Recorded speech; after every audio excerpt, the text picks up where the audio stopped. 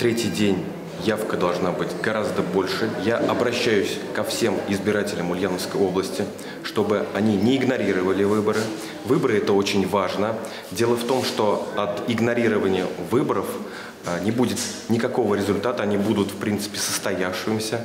А для того, чтобы действительно обновлять органы власти, а, нужно приходить и голосовать за тех кандидатов, которые избиратели предпочитают, которых они видят и которые действительно защищают интересы людей. Я призываю всех прийти и сделать так, чтобы явка была максимально высокой.